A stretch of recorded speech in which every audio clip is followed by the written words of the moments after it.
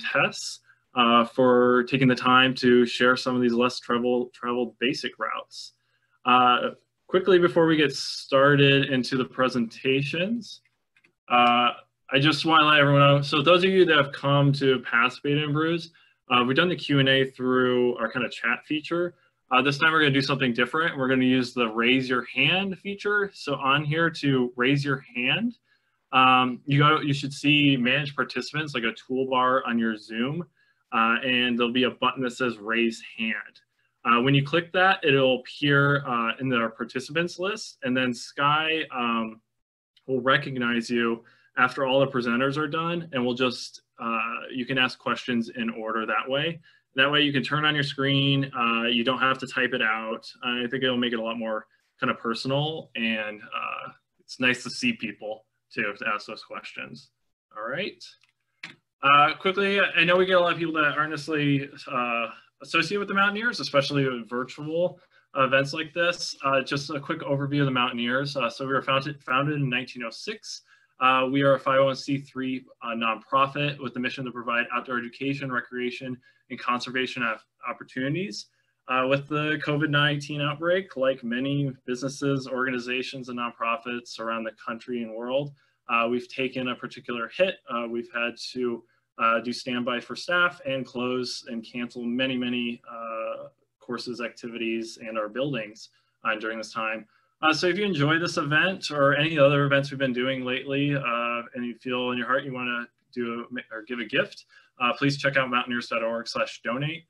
Uh, and please remember to just list if uh, this was an event that kind of inspired you. It helps us kind of track that information. Okay, so uh, I'm going to talk about uh, Snowfield Peak uh, that's in the North Cascades National Park. So Snowfield Peak is a two to three day glacier climb, depending on how much you want to break it up. it's low fifth class scrambling on the summit block. A round trip's roughly about 16 miles with 7,500 feet of elevation gain. Uh, from my research, I, I, on the Mountaineers, it says you can climb it from uh, June all the way through September. Uh, from people I've chatted with and looked at like trip reports, most of the successful summits are occurring uh, late June, mid July. Uh, I know last year we had a group that went two weeks before us and the summit was still covered in snow. And I know when we went on the scramble uh, in mid July, I definitely wouldn't want to be on some of those steeper parts on the snowy areas. Uh, additionally, the backcountry camp, uh, backcountry camping permit is required. It's limited to six people in that area, but it's really not that competitive, it turns out. Uh, when we went to get our permit, uh, we were, I think, like 13th in line and uh, we still got a permit, no problem. And we only saw one other group up there, and they were doing car to car that day. So it's a really, it's a, such a beautiful climb. It's really accessible actually, as far as uh, getting into the national park and parking, uh, and but it still feels really isolated and beautiful up there.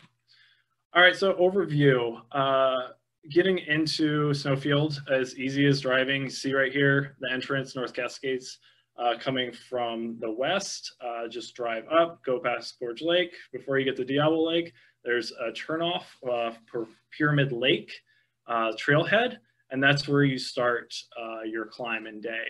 A quick overview here. So uh, the first base camp is actually right up here. and then there's another second bivy spot. I'll go into more detail on those later. and there's also, so in theory, a camping spot here more early season. I camped there in 2017 when we tried to do this in May. Uh, it, it, was very thick snow. I wouldn't recommend it. And we turned back because we just watched avalanches come down this gully most of the afternoon. All right, zooming in a little bit more. Uh, so this climb has a little bit of everything, uh, especially a lot of bushwhacking uh, once you get past Pyramid Lake. The green line here uh, is courtesy of Brian Starlin. I don't have my track on here, but is pretty much the same except for a couple tips that he gave me uh, to not do and our team to not do. Um, so the beginning, you're just right here on Pyramid Lake Trail, easy peasy trail, uh, well cleared, well maintained. But once you get past Pyramid Lake here, it takes about an hour for most teams. that's where it turns into uh, a lot of steep uh, climbers trails, little bushwhacking, uh, literally like gra grabbing onto roots to get up some escarpments to get up there. Uh, but there's plenty of break spots, plenty of beautiful views along the way uh, to get up to that point. Uh, idea of this is a quick picture of some of the stuff we're encountering, thick woods, uh, ambiguous trails, things like that. Um, so it makes for a, a pretty fun time. Then as you get up to more of the clearing, uh, you have a couple options that we did, found during research. Uh, one option is you can actually uh, drop down into this gully. Apparently there's a climber's trail down there. Uh, we decided not to do that because we weren't keen on uh, regaining the elevation. And as I mentioned, those, the other party we saw that did car to car that day actually took this route. And they said it was actually pretty, pretty darn sketchy to get up and down. Uh, so we decided to go around um, this kind of large bulge here and it was mostly boulder fields, pretty easy. Maybe added a little time, but it, it made for a much faster uh, travel around time. Uh, quickly, so whenever you see a, a, series of pictures here, I have this arrow, arrow shows where the photographer is and where we're looking. So right now we're about to go around the back of this big, uh, uh large, like larger hill. Uh, and then we're eventually going to traverse around along this uh, kind of what's left of this snowfield uh, to the campsite up there, which is right here on this map. Then after we moved around uh, that uh, little mountain there, uh, here's the traverse. we spaced it out because there was a risk of rockfall and there was running water here. So we had a bit of a snow bridge and we wanted to reduce the weight on that. So that was the decision we made uh, to cross that point.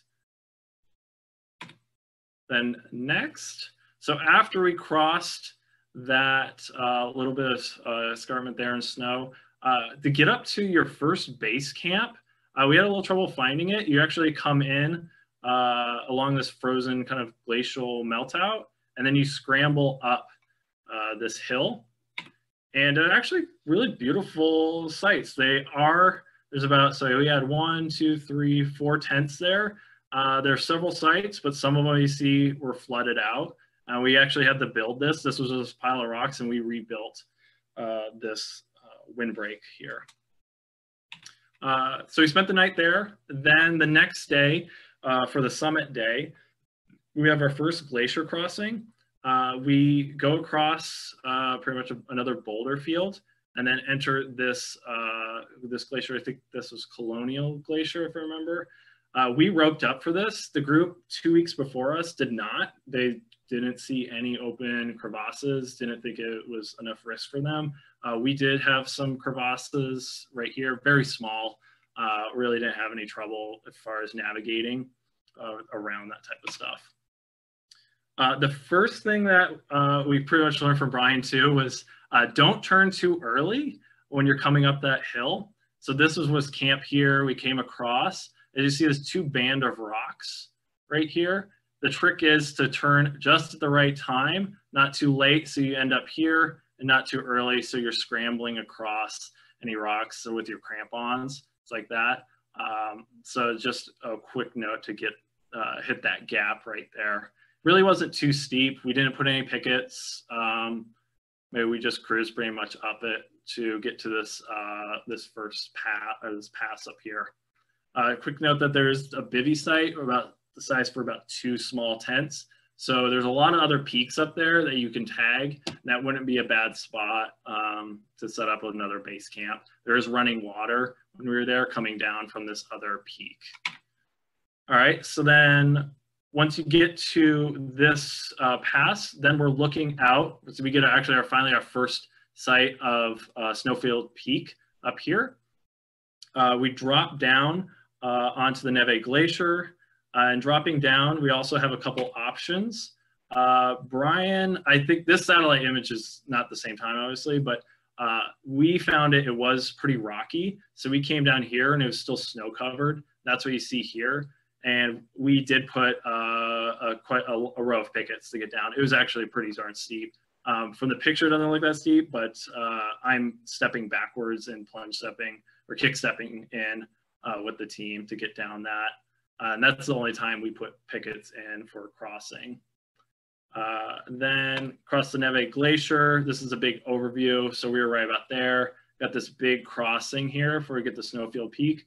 As soon as we drop down in, uh, ping pong ball, we are completely socked in, uh, completely following just our GPS and using our navigation skills. But then as we came back up, it was like the most beautiful, like morning kind of moment where you get up above those clouds, you get to see your objective um, and see all the other peaks of North Cas Cascades right around you.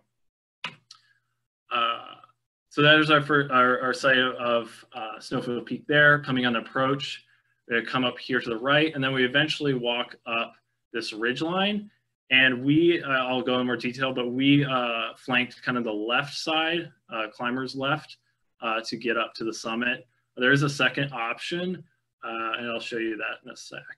So just coming through here, up to the base. Here's us coming up that ridge line. We dumped all our glacier gear here. Uh, we did all keep our packs because it was pretty chilly. We wanted to keep our food, and I have uh, climbing gear with me, a trad rack, uh, and things like that. But we did keep our packs uh, with us, but we dropped like our ice axes and stuff away. Uh, so coming up that ridge line there, that's where we dropped our gear. Uh, there's beta on mainly what I saw two possibilities that come up. What trips up a lot of people, I think, on this peak, what I've read and talked to other people, is finding this route off the left side because there is a really obvious gully going right up here. Uh, it ends and it just kind of drops off into this uh, steeper section. Uh, and then this is kind of a, a, vague climber's trail, which is probably covered in snow most of the time. Uh, but so we came up this way, kind of hit a dead end, came around trying to find it in different ways, eventually scrambled back down and kind of found this uh, belay station and then scrambled our way up, just setting a hand line here. Uh, then the option two is actually dropping down that gully uh, and then scrambling back up it to get the snowfield peak. And we went kind of for option three, where we came around, summited, scrambled down, and then came back up that uh, gully part to get back out. Uh, so here's a picture of what that looks like. These are both the same, pretty much the same pictures. This is the same as this. Uh, that's that same point. So this option one, this belay station, is what I'm talking about right here. And that belay station is it's just tons of room. So you can set up a hand line. I put like one piece in. It was pretty low, uh, uh, like grade as far as getting up. And we had all six people at this belay station just anchored in and then it's an easy traverse, kind of an airy traverse here that you come across to get to the summit block.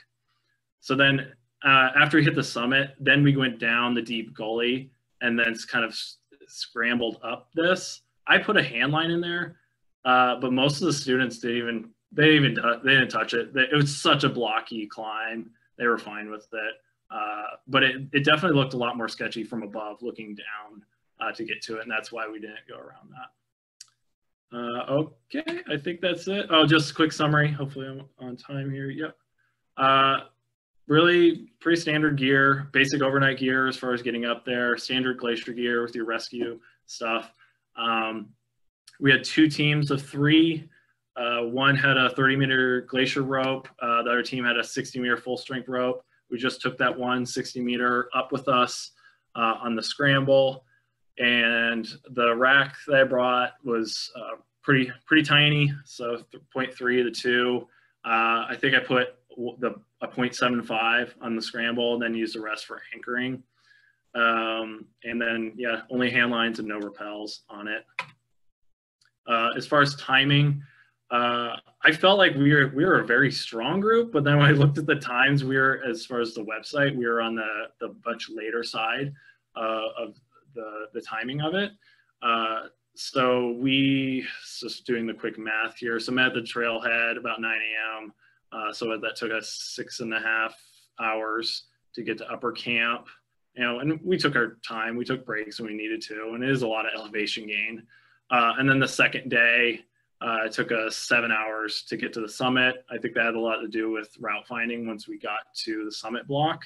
Uh, and then also the time it takes to like rope up and then you know set pickets and all those types of things because we were right at our turnaround time.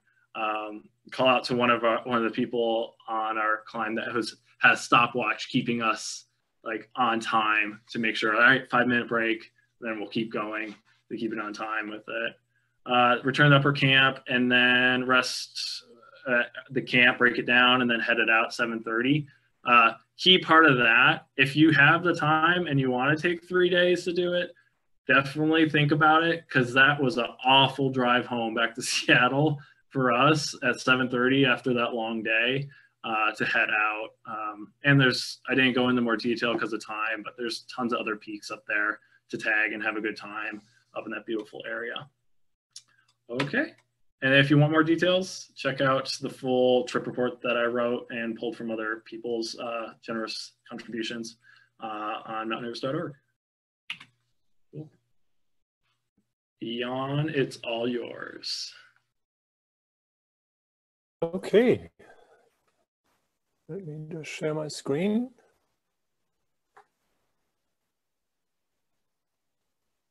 And you should see my presentation now. Could I get some feedback if that is true? Yeah, we can see it. All right. Okay, sweet. All right, cool. So Mount Baker might not be the mountain you might want to connect with less traveled basic routes. Maybe with basic routes, but certainly not with less traveled routes. But there are some routes to Mount Baker where you might not see anybody for the entire weekend, and Boulder Glacier is certainly one of them. Just to get a quick overview of where we are. Uh, so this is a view kind of from the southeast that I happen to see on a flight home. So you see in blue here, that's the Easton Glacier, in green, the Coleman Glacier, the North Ridge comes up here in the back in yellow, and the Coleman, uh, the Boulder Glacier is over here. Looking at that on a map, roughly the same orientation. Uh, we got the standard routes, Easton and, Gla Easton and Coleman here on the left. And as you see here, uh, the Boulder Glacier route is pretty much a straight shot, almost a straight line from the trailhead to the summit with a few uh, variations. Um, we start pretty low, 2,700 feet, and that certainly has an impact on how strenuous the climb is. But before we get to the trailhead, there's a road. And don't do that what I did. Uh, that is the last picture I had of my car that I totaled on the way home by running into a big bump uh, on the way down. So the last 4.2 miles of the road uh, are pretty rough. I made it once with my sedan, uh, on that road. The second time it was dark and I hit a big bump and uh, the oil pan was gone. So be cautious, you can do it, but just be cautious when you take a standard car. Uh, also note that um, AAA doesn't serve Forest Service roads, even though the towing truck that I used here was a member of AAA. And there is no cell phone contact on the road. Made for a very long night on that road but going up to the climb. So we manage the road, uh, are at the trailhead, and it's pretty good trail up to here to that decision point. At this decision point here, it's where you cross a creek, you have two options. You can take the wet option, that is a wet trail, a bog, and uh, a fourth class, sometimes wet scramble. Or you can take a very classic bushwhack with a second class scramble up to a ridge. And let me show you a couple of the, what these options look like. So let's first start with that wet trail. Well, this is what a wet trail looks like. It's pretty muddy once you pull the feet, uh, the shoes off of your feet. The bog here, if you're lucky, it's covered in snow, but it can be very boggy as well. And here, courtesy of Sky and Sari, a picture of the scramble uh, that you might see. And next to that white line, that's a fixed line of unknown quality that seems to be permanently installed there. I've never climbed up that little scramble. I've only rappelled it down, so I can't really say how the climb would be. Every time I've been there, which has been twice, uh, in June 2017 and 2018, uh, that route has been pretty wet. But I've also heard from others that uh, it can be a pretty decent scramble. The other route is a bushwhack that doesn't want to pull the, the shoes off your feet, but wants to pull everything from your pack. So here, there's a low point where you cross the creek, you head up to uh, this saddle point. That's an awful bushwhack. And then you think you're done, but no, you're not done. You scramble, you bushwhack for quite a while further, pretty much staying here on the ridge. You will reach, here you see uh, a view of that ridge. And if you're lucky, you have nice weather, you can see the summit from there. You aim for this little high point on the ridge. And here in the lower picture, I'm showing uh, a scramble that goes to the back of this. It's a short second class scramble to the back of this boulder. At times it must be harder because we've seen some rap rings uh, installed here at the top. So once you get out of the woods, uh, uh, you, you're out in the snow, and if you're lucky, you have a gorgeous view of your summit. Um, and what you see here is sort of, this is the outline of the route. You go up here for the first day, and the, here is uh, in red, you see the summit day.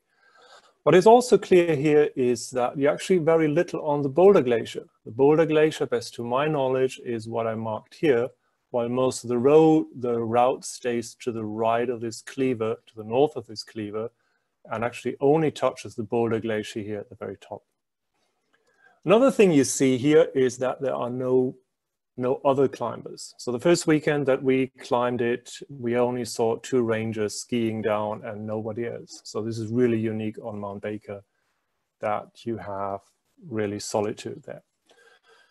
So regarding camp, you still have two options, or you again have two options. You can either stay here at the lower camp, roughly where uh, that blue line ends. Uh, it's at 5,700, oops, sorry, about 5,700 feet. Pluses, it's lower, it has running water. You might be able to camp on dry ground and you don't need to be on a glacier on day one. The second camp is a bit higher. It's about 7,500 feet. It's obviously higher. It has no running water and you need to rope up on the first day, but it makes for a shorter summit day. Some pictures from the different camp options. Uh, down here, I'm standing here at the lower camp. You got a nice little puddle where you get uh, running water. You got a wonderful view of Mount Shuksan. Uh, the higher camp here is at the end of the lower end of that cleaver. The cleaver ends in this really weird uh, rock outcropping. And again, you have a very, very nice view on Mount Shuksan. And that's really one of the highlights of this climb. The views of Mount Shuksan, the views of Mount Baker, especially early in the morning, are absolutely gorgeous. So then comes Summit Day. Um, the first part of Summit Day shown here on the red line, you stay on top of this cleaver. That's mostly fairly straightforward, uh, almost like a snowfield. Got a little bit of a decision to make here. And then the biggest decision is up here at around 9,000, 9,500 or 9,000 feet where you have two options. And I will go into that in separate slides. So uh, that's the view at about 9,000 feet. Let's first talk about the, the Bergschrund, Bergschrund option, Bergschrund. Um, so you are here at this fairly flat place where it really invites you to take a break. And then you get in this kind of awful area with a bunch of uh, smaller crevasses. Uh, we actually had one of our students on a second climb stepping into a crevasse and dangling with his feet in, in free air. So that was a little bit unnerving. And you see actually down here, there's a big crevasse just below that. I will show that a little bit later. So if you take the Bergschrund option, you follow the red line, make it through these little crevasses here, and run a really big crevasse, then head for, for the Bergschrund that I'm showing here in a, in a blow-up picture. It's a bit fuzzy because it was part of a much bigger picture, but you roughly see here, might be able to make up our trail, and it crosses over here. That's a bit of a bottleneck. Um, that Bergschrund tends to uh, melt out fairly early in the season. And when that is out, that route really isn't an option anymore. From there on, it's a pretty quick ascent to the summit. Picture of that Bergschrund in 2017. Uh, it was a pretty straightforward crossing, uh, really nothing much, but I think a couple of weeks later, it didn't go anymore. Looking down from almost at the summit, looking down the, the Bergschrund route here, you see it's a pretty straight shot and you see that long uh, snowfield glacier that you first follow. Going back to the place that I showed earlier, uh, about 9,000 feet, that was our second trip. Uh, is excited to go higher up here. So that solid line is the first option. The second option is here uh, going to the left into this bowl. Uh, the first thing that we encounter there is a bit of a traverse. We had just gone through an area with a, with a number of crevasses and then the big crevasse that I showed you before was just below us. So that's an area where we were, or where Constanza, who was the rope lead, was a bit cautious and put in some pickets. Makes for pretty cool views. There are some really big crevasses uh, right next to your trail. And unfortunately, also one that wasn't so comfortable to cross, that was a snow bridge that was sort of on its uh, way out. I think a week later, uh, that route wasn't good anymore. After you really haven't seen anybody all day, uh, you're surrounded by people on the summit, which makes it kind of cool to, uh, you sort of enter from the backside to the summit and then disappear through the back door again.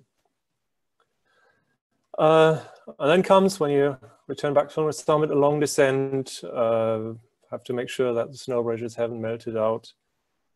Uh, you can see the entire route going down here, uh, down to the Cleaver, and you can see uh, Baker Lake here at the bottom.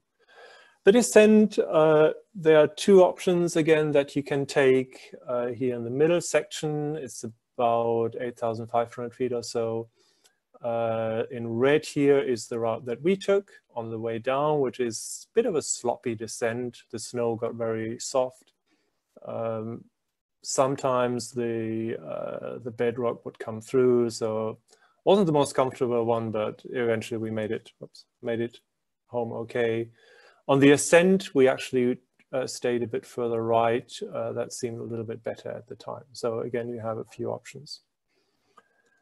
On our second climb, uh, was good to watch the weather, kind of a cool picture here. Uh, that night there was an enormous thunderstorm that went down when I was waiting in my car for AAA uh, to, to pick me up. So some final thoughts on that climb. Why should you go? It's a really remote route on Mount Baker and it really feels like it's a bit of an adventure. You don't follow a boot track really, uh, you, you find your own trail the views of Mount Baker and Mount I hopefully have conveyed that, are really, really beautiful.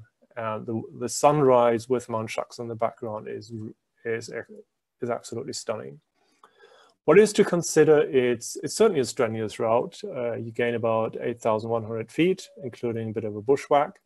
Uh, and I'm listing here the numbers where the starting points for Boulder, Easton, and Coleman are. So you almost have to gain bit more than a thousand feet more than on the standard Coleman route.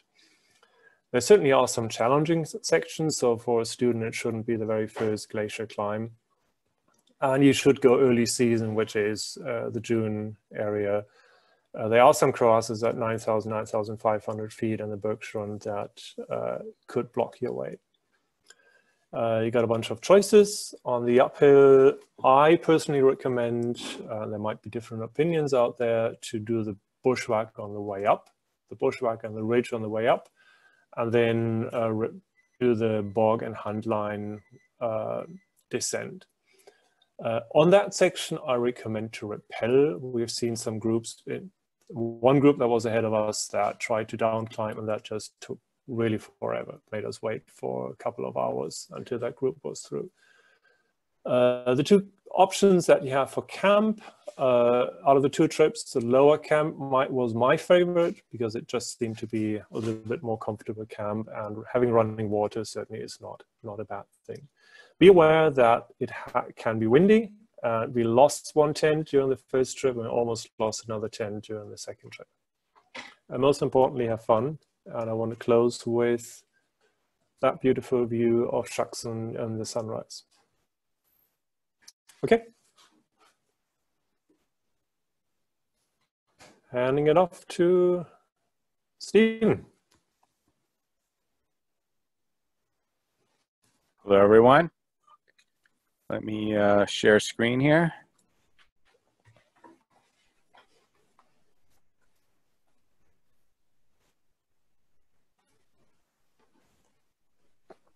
All right.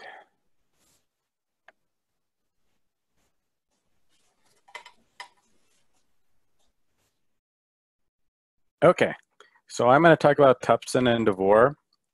Um, a brief introduction. I'm not sure. I'm sure that a lot of folks don't don't know me. I am uh, with the Everett branch. I've been a climb leader since 2008 or 2009. Um, I quickly did all of the standard routes, some of them two or three times, and then I kind of got bored with doing standard routes, so I branched out to um, off the beaten path routes and also been pursuing Bulgers, and I'm at 98 out of 100 right now.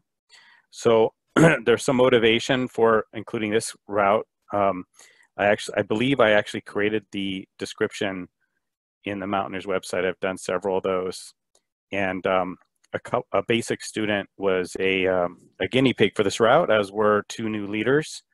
Um, it actually worked out well, and um, like this route is located um, near Stehekin, um, north north side of Lake Chelan. Um, and like any any routes that you do for approaching from that side, whether you're doing Bonanza or you're you're doing uh, Logan or Goody from from that side, um, there are the logistics of taking uh, the boat up lake and um, you know, coordinating that with um, your return and taking a bus from Stehekin to wherever you need to go. Um, so I got a quick summary of that. Um, I've done this several times, whether it was the Holden or Stehekin. Um, I found it best actually just to to go up lake from uh, uh, Fields Point Landing. It's a shorter drive, um, unless unless you're planning to take a plane back or a plane one way or or or you know take a dog up or something like that. There's there's really no need to um, take the the Chelan from Chelan. It's just a longer um, a longer boat ride. Um, so up lake, I've gone about at the uh, the 920 boat, which is the the express boat. Down lake, you can actually take um, the express or the slow boat. You just need to plan your trip and when you um, are hoping to be back to get your bus ride back to Stehekin and whether you want to take the early morning or I guess it's afternoon at 12 o'clock or the 145 boat out. There is a difference in fare and actually you can um, you can actually hedge your bets and pay less money and plan to come out later. But if you end up getting back to Stehekin earlier, um, you can just pay the extra money if they have room on the boat. And um, they've they, so you have to check the times. I do have links in the slide deck um, because the, the seasons do change. I think it's June 6th is the inflection point here for high high season uh, when they're running the bus like in perfect coordination every day with uh, with the boats. Um, but typically, as the boat arrives, you have 30 minutes to do whatever you need to do, and then there's the red bus that'll take you um, as far as you need to go. And in this case, it's going to be to Harlequin Bridge, eight dollars each way. So once you get that logistics out of the way, um, oh, and um, I included this these links for um, you know for if, if I share this out. Um, I used a combination of uh, Summit Routes, the the well-known book from every from Stevenson and Bongiovanni.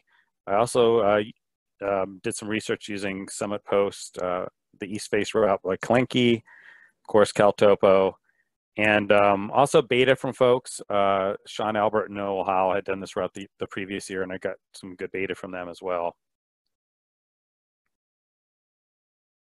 Uh, as far as the technical aspects, um, you can make this a it, it's at minimum a three day climb. You're going to spend a full day approaching because of catching the boat, riding up lake, catching a bus, and getting the trail. It's already noon, and uh, the approach is to Bird Creek is is uh, about 4,000, 3,000 foot gain, and then if you go up to a higher camp, it's at least 4,000, 4,200, something like that.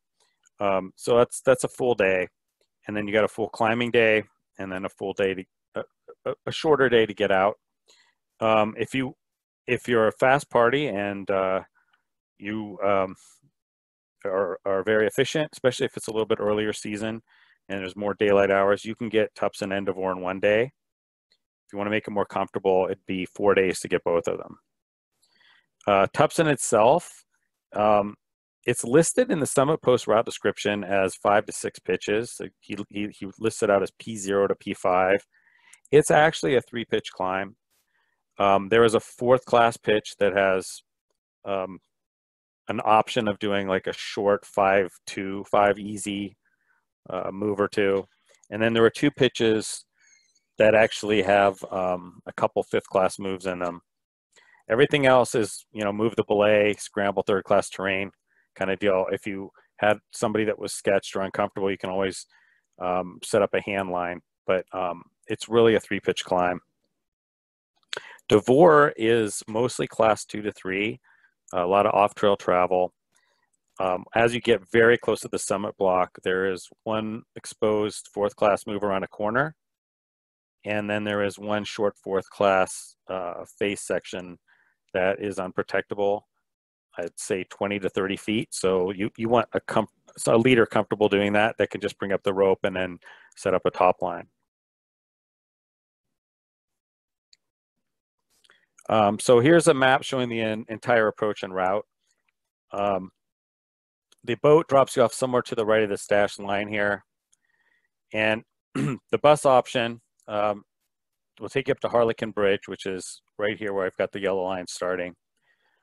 And um, you pick up this uh, Company Creek Trail. Uh, actually, you, you just walk towards the airport, the airfield, the airstrip, whatever.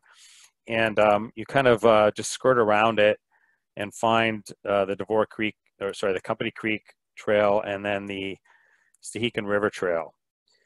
And you follow the Stehekin Trail, uh, River Trail about three, it says 3.3 miles back where you're to Weaver Creek Campground, which is directly across from where you got off the boat. So it's, it's kind of frustrating in that you take a bus to take you far away from where you want to go just so you can cross the river on a nice bridge and then walk back. Um, I've heard rumors that you can find locals that'll take you across here. Uh, I never managed to figure out how to do that. I've been up here three times. Uh, I guess you could bring a kayak or something. It's like a quarter mile or half a mile or something across the water here. Be pretty simple, and you could dock your your boats there if you wanted. Um, but we're talking like an hour, hour and 15 minutes anyway of walking. Um, and that's all flat. It's mostly flat, just a little bit up and down. at that point, um, you start heading up the Devore Creek Trail, and um, uh, this trail actually, um, two years ago when I did this, uh, the PCT had rerouted here, and they had really cleaned it up and cut all the brush back, and it was pretty nice. Um, I went back last year, and it was starting to grow back in, but it was it was still a pretty nice trail. Um, there's some quick switchbacks up in this section here gain a lot of elevation quickly, a thousand, 1500 feet or so. And then um, that's just because on this side here, there's a gorge with waterfall in it. Once you get above that, it's, it's pretty uh, mellow grade. It just follows along Devore Creek. You're above it, um, varying elevations, and you just keep working your way up until an obvious camp. There's only one camp. It's Bird Creek Camp. And um, it's um, not the the most glorious camp. I'll show a picture of that. Um, that camp would be fine if you just want to do either Tupshin or Devore. Uh, day two, you could go up, do Tupshin, come back down, camp there again, and then hike out on day three. Um, I would recommend the higher camp if you're worried about if you have if you have time still, you get up there still decently early, and um, especially if you want to try to get if you're going to get Tupshin and Devore, even if it's not in one day, because you don't want to like go up and down this 1,200, 1,400 feet twice. It's all off trail. Um, at this point, what you're doing is you basically keep Bird Creek as a hand line on your left, and you follow the path of least resistance and avoid as much bushwhacking as you can. Um, the farther you stay to the right, the steeper the terrain is. It's a little tougher, but if you go too close to the creek, you're going to hit brush. Um, it's only 1,200 feet, and you can see on this map, it is not that much uh, horizontal distance. All right, so let's see here. Uh, this is more of a, um, a zoom in. so um, there's actually um, two areas in here where you can camp. The, the first one you encounter when you start getting to flat areas, a flatter area in here, maybe 5,400 feet, 5,350, somewhere in there. Um, it's really nice. It's just in a wooded area with, with water right by you. Um, and plenty of like nice flat areas, dirt, where you can set up a bivvies or two person tents really easily. Um, if you want to, if you want to try and tag both peaks in a day, you, you want to go two or 300 feet higher. And in that area, it's more like bivvy. You got to just, you know, squeeze out a spot. And that's where I got this triangle uh, marking that camp. Um, the approach uh, from that point for Tupshin is essentially just finding a path of least resistance up the hill to your right. Um, as you can see from these contour lines, there's just this broad kind of ridge, like shoulder here. And um, you're just working your way up until you crest that ridge. And at that point, you're going to see the classic pictures, which I'll show you uh, of Tupshin. Um, you basically kind of traverse a basin and get to the base of the route, and then you do the, the climbing route. For Devore, um, I just sniffed away up a gully here. Um, I'm not sure if I've even drawn the correct one, if it's that one or if it was this one, um, or if it's that one or that one. Um, standing in a spot, I didn't like the look of the cliff bands up in here, so I didn't go any farther. I, I just went straight up this, this section here, one of these. Um, at that point, you come to this nice shoulder with it's very flat, just beautiful lakes and just gorgeous views to uh, over to Waco Mountain and Tupshin, and you see Bonanza, everything. From from that flat area, you just um, have to work your way up to this col here, and then you just follow the ridge basically. And there's one spot that's a little tricky. Um, I think they're showing it on here still as a snowfield. I did this climb in September, and that snowfield uh, was was ice. It was pretty bad. And all the route descriptions said, don't go left, don't go around the south, the south side, stay on the north side.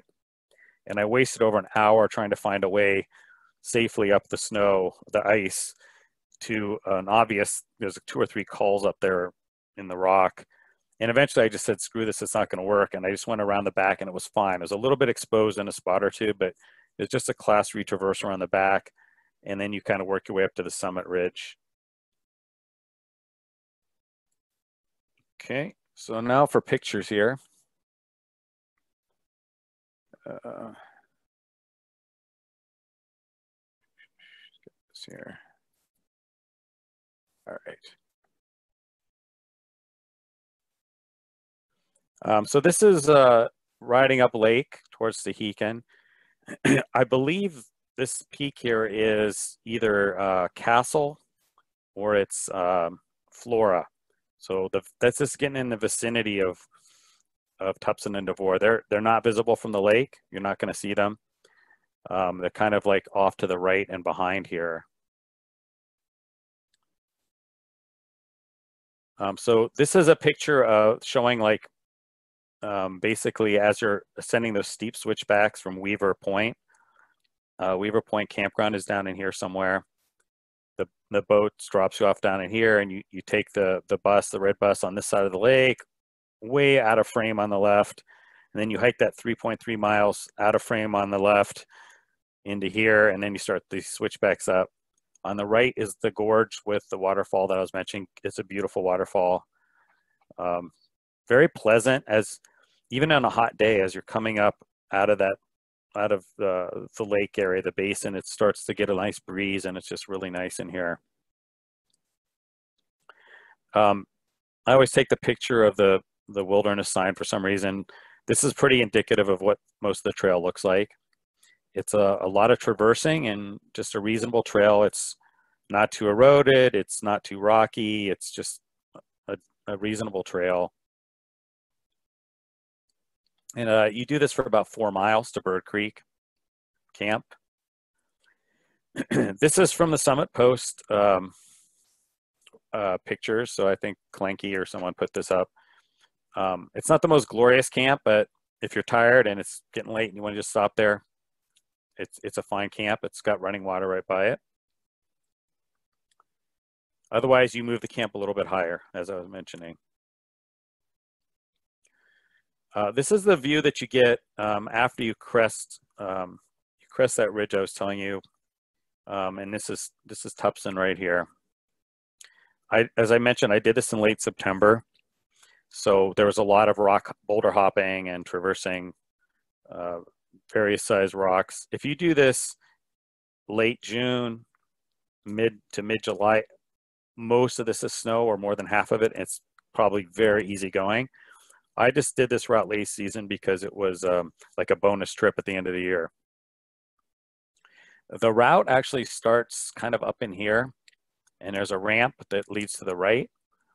And then from there, you just kind of sniff your way up.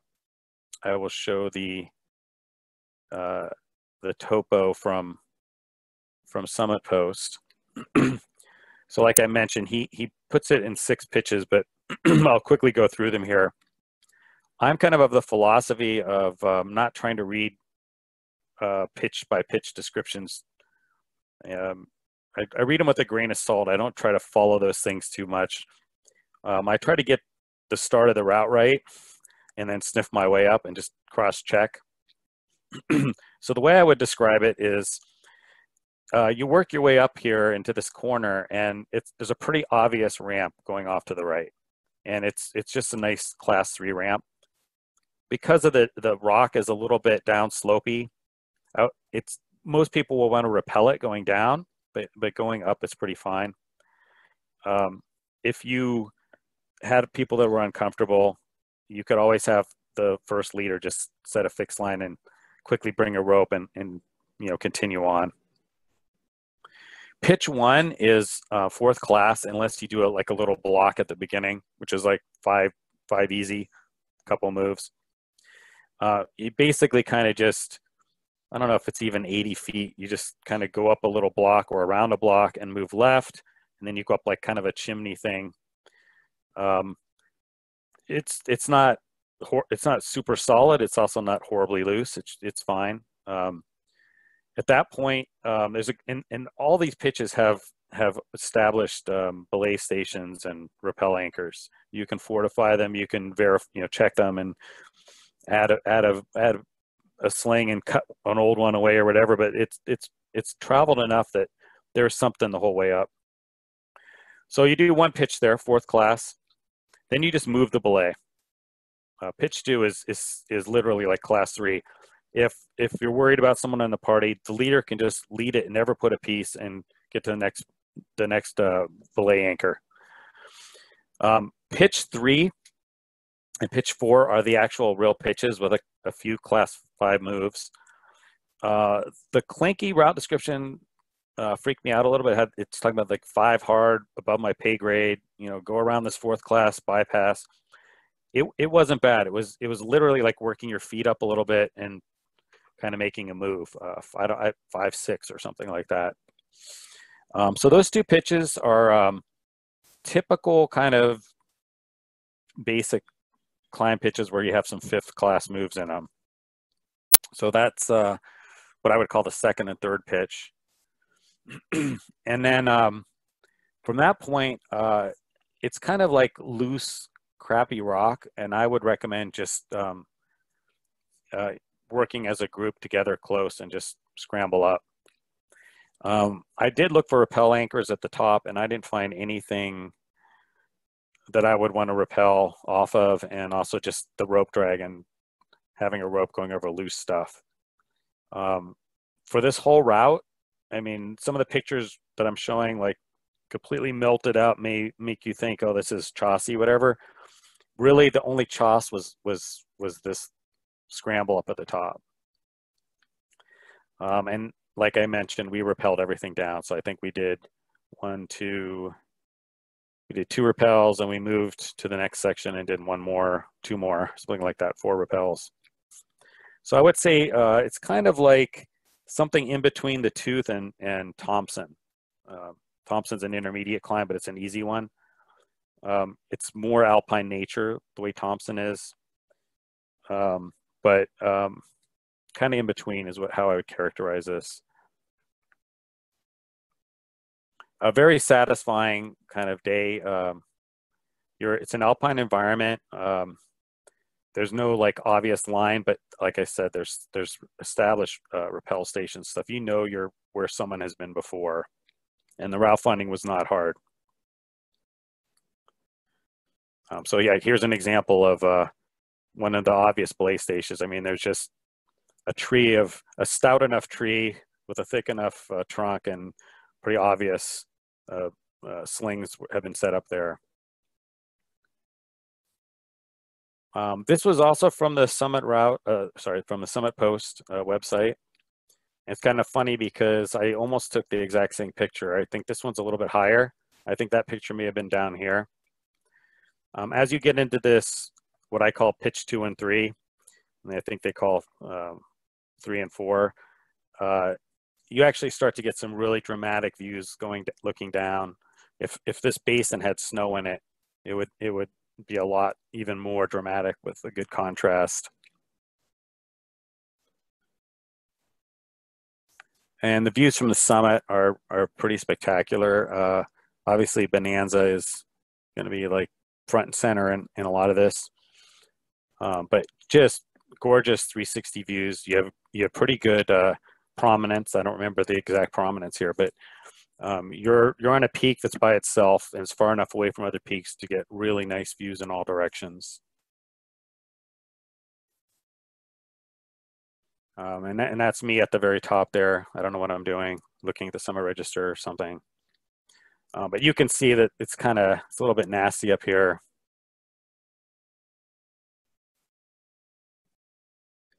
And I think, yes, that's Devore in the background. So that's the, the next thing I'll show.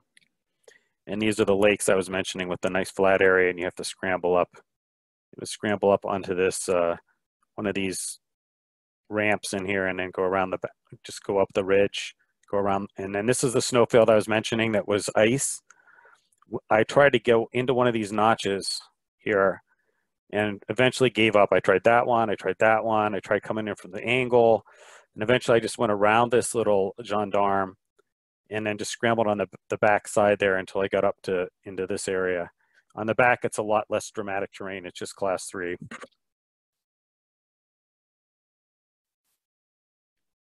Uh, this is uh, another Everett leader, Kashan.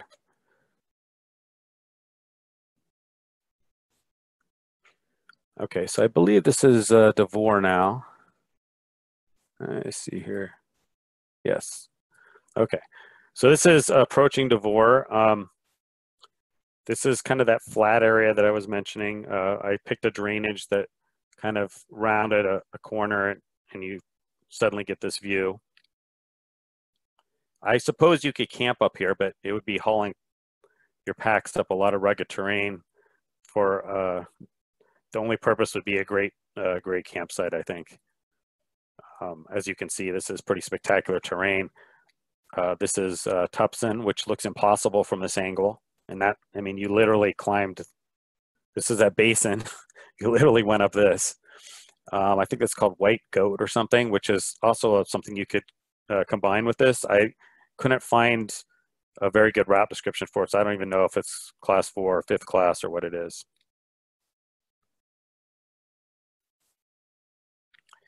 Um, so I mentioned that the top of Tupshin had um, some choss. This was the this was the most unsavory thing of the whole climb.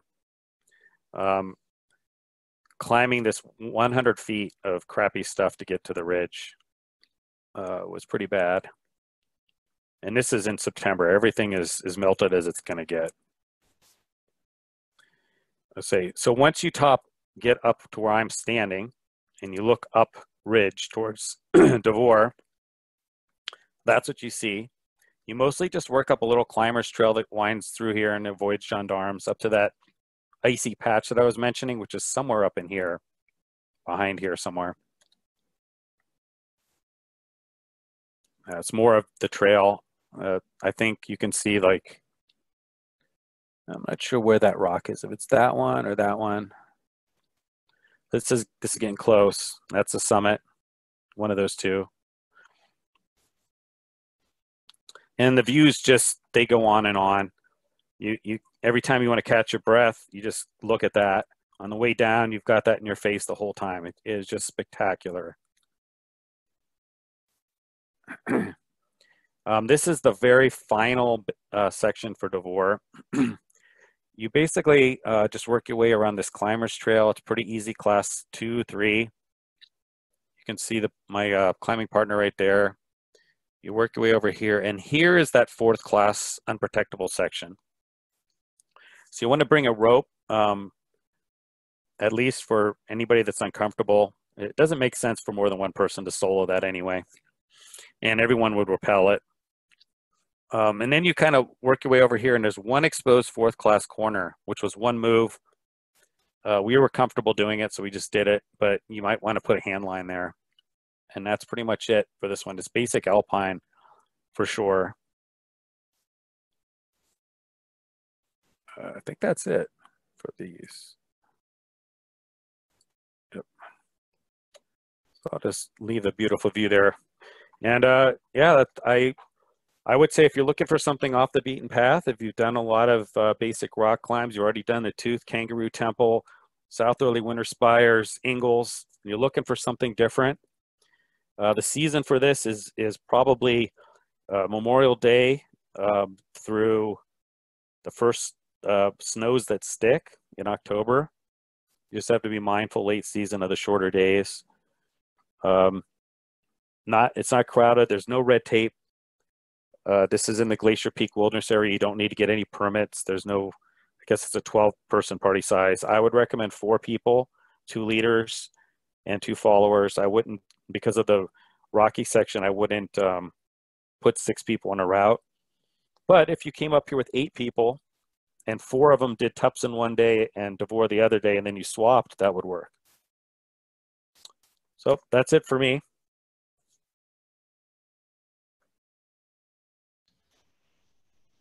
Wow, those were great photos. Thanks. That Thank looked really incredible. And let's do.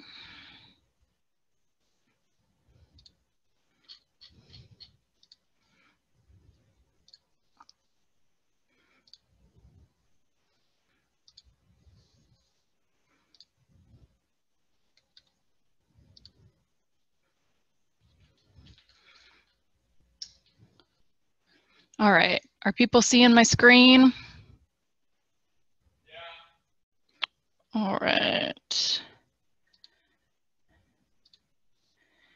Cool, and I got a little laser pointer as well, so check that out. Um, I'm talking about Mount Rexford. Um, Mount Rexford, um, the whole Nesakwatch um, Rexford Basin area I've been up to twice. Um, I did the West Ridge when I was my very first year in intermediate. Um, for those who don't know me, I'm Tess. I'm a climb leader um, with the Seattle branch of the Mountaineers. Um, and this was sort of one of the outings, um, you know, where I feel like I cut my teeth a little bit, um, learning uh, about alpine climbing, um, and it was awesome. It's a um, pretty strenuous approach, um, but the scrambling and the rock climbing um, is on really solid rock, um, and we had great weather, and yeah, it was just super fun. And then I took my boyfriend Michael back to the same area to go do uh, the Southwest Ridge on North Nesakwatch Peak, because um, there's a couple different peaks in the area that you can explore. Um, and I was almost reluctant to talk about it tonight because um, I've never really run into that many people um, up there. So fortunately, I think the approach uh, does keep some people away. So um, just for context, uh, Bellingham down here, go over the border, you hop on Highway 1 um, in Canada, and you get on Chilliwack Lake Road. Do, do, do, do, do, do, do. And then Rexford is up here. Um, and at this Riverside campground area is where the Nesakwatch Creek Forest Service Road um, comes in. And this road is um, real rough. Um, I've read a couple trip reports where they only got in about this far on the road, which means they had like another two miles that they added um, to their drive. Um, I think we were able to get um, the most recent time we went in 2018 uh, to kind of where this little campsite is just before that. Um, and just to give you an idea um, of what I mean when I say rough, um, this is a little bit of an idea. Um, I think this picture actually was where we it, things got a little bit too crazy and we realized we had taken um, a short spur. Um, but the main road does look like that in a couple places. So um, you definitely want to take it slow and have a high clearance vehicle. Um, let's see here. Some of the older trip reports um, that you may read um, talk about this trail not being signed. Um, we were fortunate enough to, um, I think both times, the very first time I went, the sign was new and had just um, come in. And, you know, it's kind of interesting because the road is pretty rough and things don't look like they're maintained and the trail is not maintained that well, but um, there is some okay signage um, to really reassure you that you're in the right place. Um, I'm actually just going to go back um, one slide here, hopefully. Um, is this going to let me do that? Um, yeah, for some folks are more familiar with this area because Slesse Mountain um, is right across from where Rexford is. Um, and Slesse has one of the classic climbs on there and is um, just a really stunning peak. So if you were wondering about that, um, just get you oriented a little bit there. Um, so obviously there's the road to deal with. Um, and then there is this very steep trail. Um, and when I say steep, I mean 4,000 feet in two miles. And I remember um, the first time I did this, um, you know, we had planned on doing it as an overnight um, since we were coming all the way from Seattle. Figured you might as well stay the night. Beautiful spot to camp. Um, we are also new trad leaders and definitely brought like the kitchen sink with regard to rock gear. And I remember my pack feeling so heavy and it feeling as strenuous as climbing Rainier. Um, and then the second time I did it with Michael, I was actually feeling a little bit under the weather. So both times I've done this approach, it's been pretty brutal. Um, but uh, as soon as you get up there, you're like, wow, uh, totally worth it.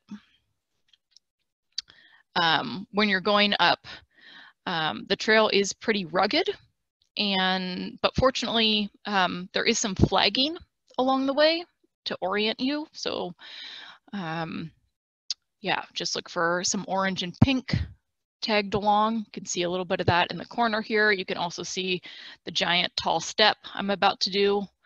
Um, if you are recovering from any injuries and can't do big tall steps, um, this would not be the trail for you. Um, so as you're going up, there are a couple small creek crossings, um, which is something to keep in mind as far as uh, collecting water. Um, because it's such a steep approach, you know, you don't want to have a ton of excess water. Um, but at the same time, um, later in the season, uh, there isn't much water because the snow melts. And so um, keeping in mind where those crossings are um, for your way back down, if you were doing a day trip, um, is important. Um, I think the main one um, that we that I had maybe used um, was about two and a half miles from where we ended up parking. But the big logistical thing um, is that, you know, you just have to be a little bit prepared to um, add some mileage um, because you might not end up parking um, this little track right here is not where we ended up parking. We ended up parking, you know, further down the road. And so you're, um, I think most people's mileage for this outing um, ends up being about 10 miles round trip. Um, and you're looking at, you know, 5,000 plus elevation um, gain. So the first time that I went um, was in August. Um, and honestly, I think end of July and beginning of August is really ideal for the West Ridge of Rexford um, because there's um, a fair bit of fourth, third and fourth class scrambly bits before the rock pitches um, and it'd be um, really good to make sure that was all dried out. Um, however, um, the one thing that we noted, we went at the end of August and the couple snow patches that we used for melting water um, were pretty darn dirty. That was probably some of the ashiest water um, I've had to drink in a while uh, that we were using at the end of the day after completing our climb and hanging out at camp. Um, the other thing to note is um, if you go earlier season, um, you'll probably encounter fewer folks, um, which I personally really like. And uh, but you will have snow, which means um, I think at uh, some point I ended up um, putting Michael just corrected me and said that it was not in June, which is interesting because I could have sworn that it was June. He thinks it was the end of May. Um, regardless, lots of snow, um, and it was helpful having the uh, mountaineering boots with us because um, there was some sections up at the top um, where it was nice to feel more confident kicking steps. Um, if you also went pretty early season, you might consider bringing some lightweight crampons um, if it had been a colder cycle, um, it hadn't been that cold, so all the snow was pretty soft that we were encountering, um, but just something to keep in mind. Um, this was our camp um, early season. Um, so as you can see, this big boulder field, um, totally covered in snow. A lot of trip reports that you read about Mount Rexford, there's a big boulder um, and you'll see it on the next slide that I took from Steph Abegg, um, that um, people camp on. Um, so, you know, this looked totally different um, the second time around than when I had been up in August, but just as beautiful. And um, the clouds kind of swirled around and as the sun set, things lifted.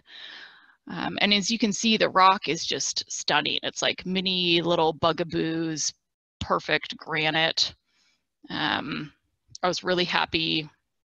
The second time around, our packs were much lighter. Um, brought the lightweight tent setup. um, was feeling pretty smug about that whole situation. Uh, this is what it looks like. Uh, this is what it looked like in August. Um, obviously, Steph Abegg does this, these pictures and overlays really well. So I wasn't going to try and remake the wheel, and I will just give her lots and lots of credit. Um, so the basic route is this West Ridge um, green line on the right here. Um, but as you can see, there's tons of rock. There's multiple lines on South Nesakwatch.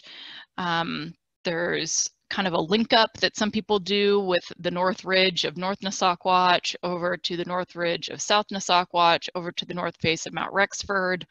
Um, you'd probably want to wait a little bit later season. Um, there were some steep snowy bits there. Um, and in fact, when we did the Southwest Ridge early season, um, this 5-9 purple route over here, uh, we weren't quite able to do this normal descent um, due to the way the snow was kind of sitting up there. Um, so had to do a couple improvised rappels. Fortunately, um, yeah, so here's that boulder I was mentioning that a lot of people camp on. Um, there are a couple other flat spots, um, but it is heather. Um, so you've got to be really careful about your impact in the area. Um, I know that there had been folks up um, when we went who were on the boulder, and so we ended up camping more on the heather and um, just trying to find an area that somebody else had used. Um, so things to things to consider. Um, let's see here. Get to next slide. Um, so actually, we'll go back here. On the right-hand side, um, you're scrambling up kind of the toe of this ridge. Do, do, do, do, do, do, do, do. Um, if you try and cut up earlier, um, you're going to end up with some steeper terrain that you probably don't want. So do kind of go to the end and throughout um, this little scrambly area, um, there are some short steps that feel kind of fourth, fifth class um, bit. And then there's some areas that feel really casual because you've got trees and shrubbery um, next to you um, to kind of, you know, uh, protect you and it feels less exposed. Um, but really fun scrambling. Everything feels super sturdy because um, it's just lots of big stuff. Um, this photo was stolen from Bill Ashby.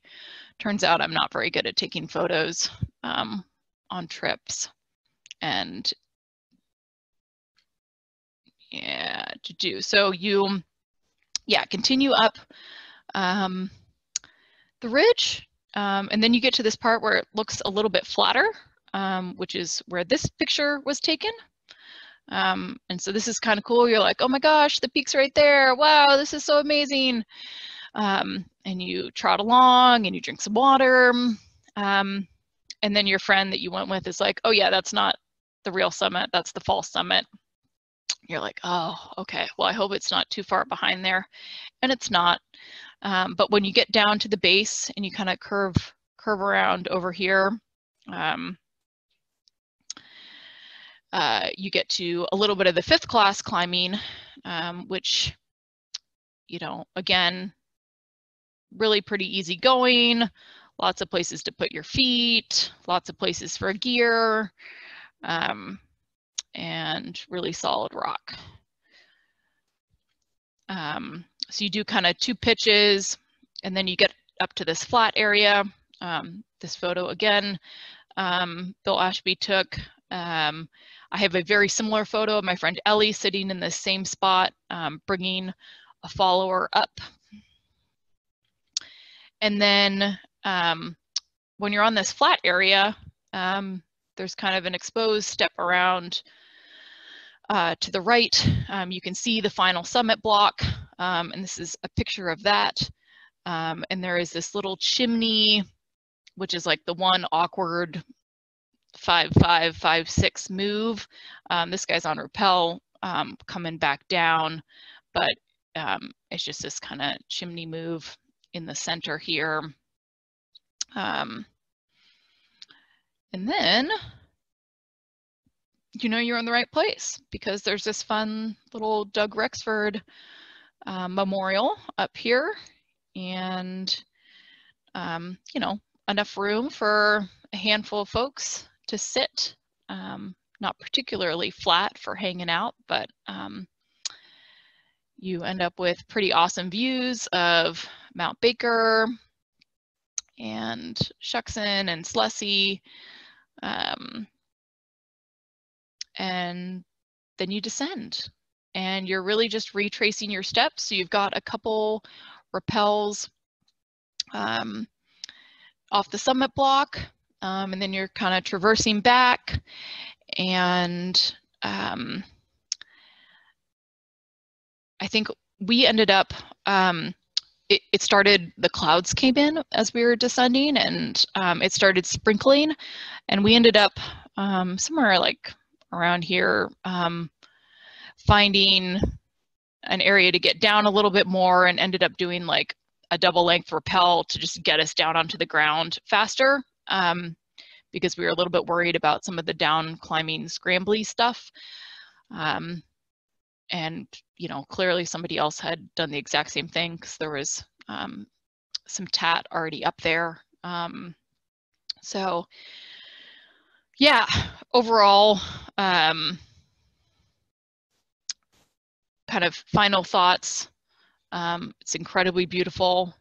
This photo is pixelated and um, but it is one that I took in the evening. You can see Slesse over here and Baker tucked in the back. Um, it's good rock. Um, the route finding was pretty straightforward um, for a new trad leader. Um, you definitely want to consider um, how much gear you're taking because it is a pretty strenuous uphill approach.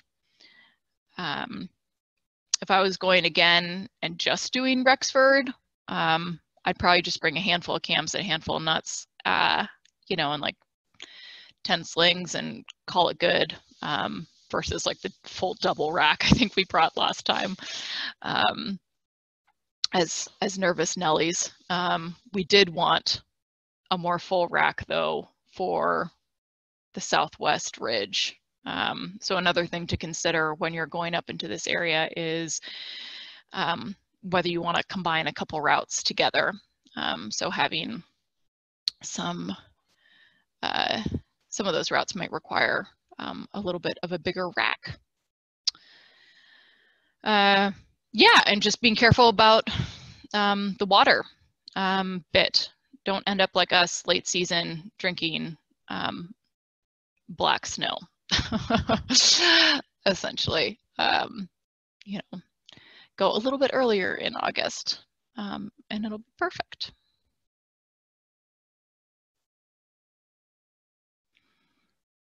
So um, that concludes what I was going to talk about. Um, and I think um, Garrett and um, Sky, we're going to kind of help moderate some comments or questions that folks may have. Um, I'll go ahead and um, stop sharing my screen and then we can. Tess, um, can you actually keep sharing your screen? Oh, sure. Beautiful questions photo rather than us just putting up one that says. Sure. I wasn't sure if like people could see people's faces if we were going to do video a little bit easier um, without that, but that's fine. Yeah. Yeah. They, they they should be able to modify it on their end as yep. far as pops up and all that. All right. There we go. Video. Okay. Um, hi everyone. So I'm Sky and I'm been planning all of these events. So I'm just going to kind of moderate the Q&A, but any of the presenters that you're asking a question will answer it for you. So first off, um, I'm going to put a link in the chat and I'll send this out in an email tomorrow to everyone too. But the Mountaineers just published a really great blog on how to recreate responsibly right now. And because trails potentially are going to be opening up on May 5th, it's just something that if you're going to go hiking at all, please read it and just kind of pick up some tips on how to do that during this time. Um, so that's in there. I'll also send that out to everyone via email after the presentation. And if the presenters send me links to their slides, I can send that out as well, just so people have beta. So if anyone, if you have a question, I'm gonna have you use the raise your hand feature and then I'll kind of call out people's names when I see that. And then once you're called, you can unmute and turn your video on to ask your question All right, so if anyone has questions, go ahead and try to raise your hand.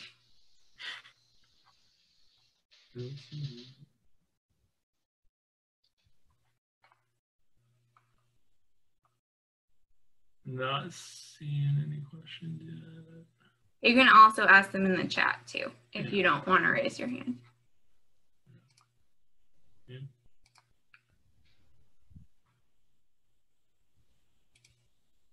Mm-hmm. Such comprehensive instructions for everybody. oh. Jan is asking, what peak is behind me? That's Prusik Peak. His favorite photo. um, Oh, red tape for Rexford. No permits. Yay. On no red tape.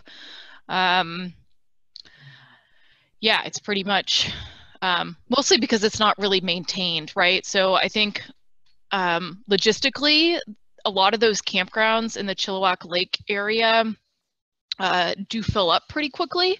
Um, so you might want to reserve that ahead of time um, if you are, you know, gonna car camp.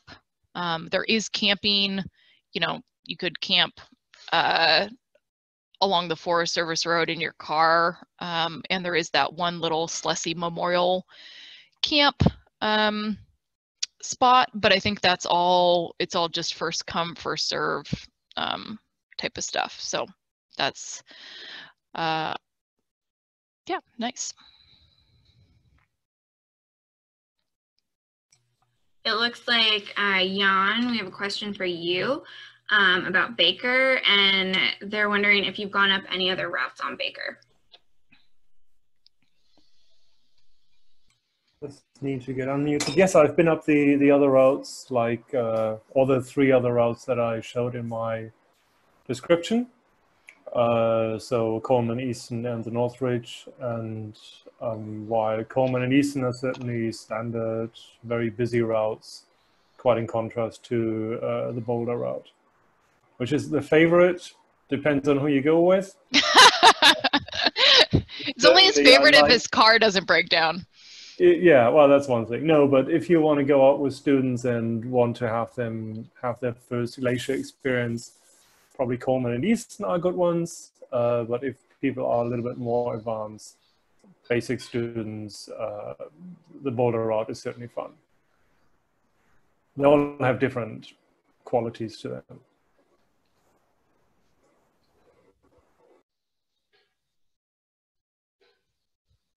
All right, and Stephen, I think we have a question for you. What was the name of the lake looking you were looking at as you came down from Devore? Yeah, so I just checked uh, CalTopo. I don't see any name for the lake. It is the source of Bird Creek. Um, it's probably something like Lake 7505 or something. Doesn't look like it has a name. I think the locals call it Bird Lakes, and I hate to chime in, but I lived in Stehekin for a couple seasons, so um, That There makes are- yeah. yeah, a That lot of folks sense. go up there just as kind of like a backpacking but scrambly destination. The lakes on their own, because it is pretty up there. And Yeah, that's my question. Um, okay, one more question that I guess anyone can chime in on, but any favorite resources when looking for and then planning these less traveled basic climbs? Do you want- Mm. It feels like a lot of word of mouth in moments like this is how I found out about less traveled routes, things like that. Um, yeah, that's my source. there's a lot of good trip reports on um, the Mountaineers site, but also Northwest Hikers, you know, that whole forum thing and um, on Summit Post and Mountain Project and that kind of thing. Uh, Summit Post, Peak Bagger, uh, Sean Albert, Sushi. yes. Sushi's also really good with her uh her and like Ian Lauder with like the route pictures and putting uh the overlays on it. Um it's all I mean it depends on some people like to know exactly what they're getting into versus a little bit more of a surprise. Um, And, and Steph Abegg. Yeah. Uh, yes. And the cool thing was sometimes I get on Steph's site and I'm like, oh my gosh, she does so many things. Like I'm not climbing at the 512 level. Um, but she has a ton of really neat Northwest scrambly stuff. Um, and some, you know, routes like this where she's done a harder route and an earlier and an easier route as well. So um, definitely don't rule rule that out. Um, and Tess, there's one for you. How long did it take to drive to where you left your car? Mm, good question. I mean, the Forest Service Road is not long. Um, and you should Google map the other part. The Forest Service Road's only like five-ish miles or something like that. So um, I think we were able to maybe only four. Um, so we were probably driving um, for about I don't know half an hour, 40 minutes on the road, which I guess sounds like a long time now when I'm saying it, but you know, it's all part of the adventure. W- Were there any uh, porcupine concerns, like in the Bugaboos? No, I think that's more of like a Rockies thing, and we're still in fun Cascade territory. Yeah. I've seen them on several trips. We haven't seen them, but we definitely. I haven't seen them either, and I want to see them. My dog almost got in a fight with a porcupine on South Spectacle Butte. Oh, Wow. Where's South Spectacle Butte? It's near Maude. Okay, gotcha. Also on the West Craggy. Mm-hmm. Interesting. I have I have heard of more of them out by like the West Craggy, Pasayten area. Um, okay, so Stephen, this will be for you for the Chelan trip. Are there any easy non-technical scrambles nearby that you would recommend?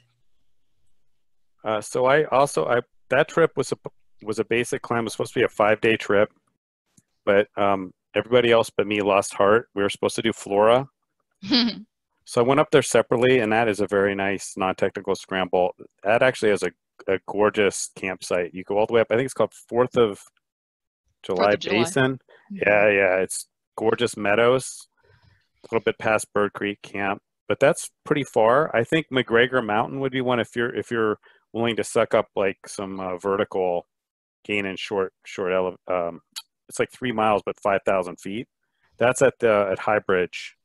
So you just take the red bus all the way to the end. Highly recommend McGregor if you're um, fit but want something a little bit less technical.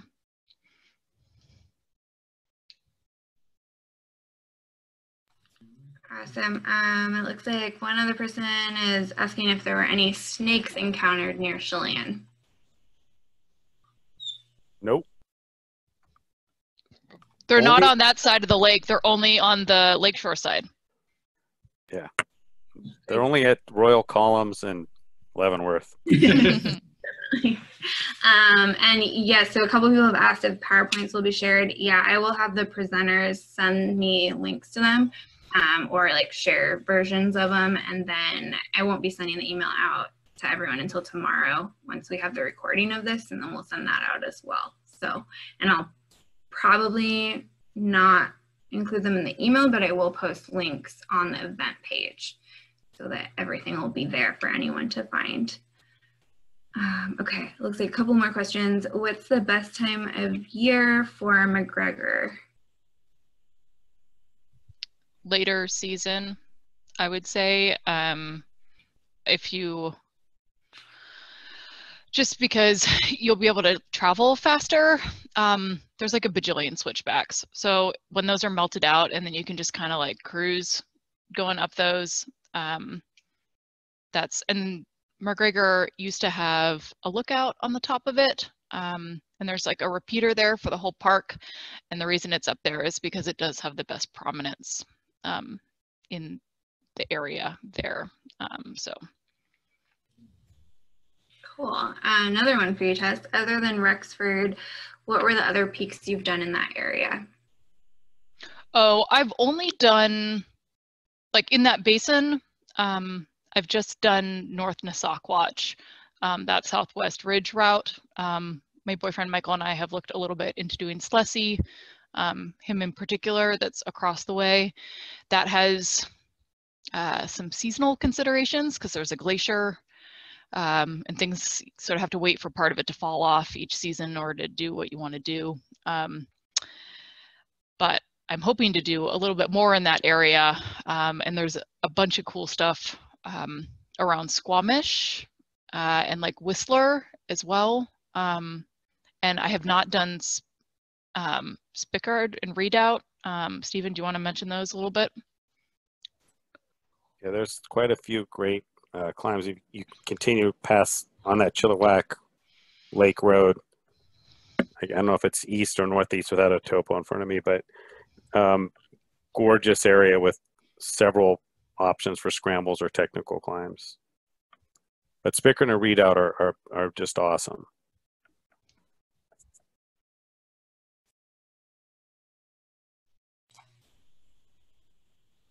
All right, any last minute questions? All right, well, thank you everyone for joining us. And next week, um, still on Thursday, we're doing all of the Thursdays through May. Um, so next week, Gabe is going to be presenting on um, some hard alpine climbs, including Liberty Crack. So tune in for that. Um, and then we'll have some other awesome presentations in May as well.